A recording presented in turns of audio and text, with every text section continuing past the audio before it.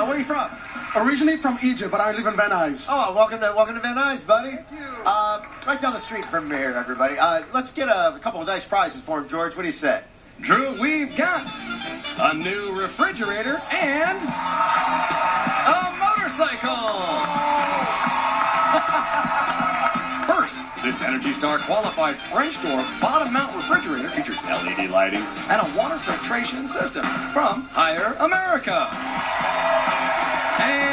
Second, this Yamaha V-Star 250 motorcycle is equipped with a 249cc air-cooled engine, 5-speed wet clutch transmission, and electric start. A helmet is included. All right, thank you very much. Thanks, Manuela. Thank you, Rachel. Uh, it's a good game, Kenzie. It's called Magic Number. All right. And actually, there's a lot of magic numbers in this game. All we need for you is to operate this handle, see how this makes the numbers go up, and uh, makes the numbers go down. All you do is operate like a like a like a gas station pump, just up and down like that. And what we're looking for is any number in between the price of the motorcycle and the refrigerator. The motorcycle is more expensive than the refrigerator.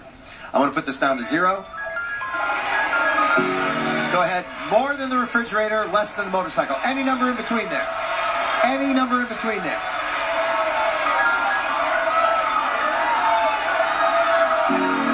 Four seventy-five. Three thousand three seventy-eight. More than the refrigerator, less than the motorcycle. You're done? Okay. He says 3,378 is more than the refrigerator, less than the motorcycle. We're going to start out with the motorcycle. Uh, it has to be more than $3,378. Rachel, what do you say it is? 4,632. I don't want to say no hitter before the game's over, but I think you're doing pretty well. The refrigerator has to be less than $3,378. Manuela, give him the good news. It is, yeah, only 18.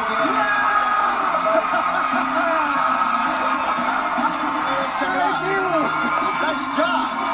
I think a lot of people in the crowd thought it was too high on that number, but it was great. That was a good number. Uh, we got pricing games, uh, more of them, coming up on the second half of the Price is Right. So go ahead, folks.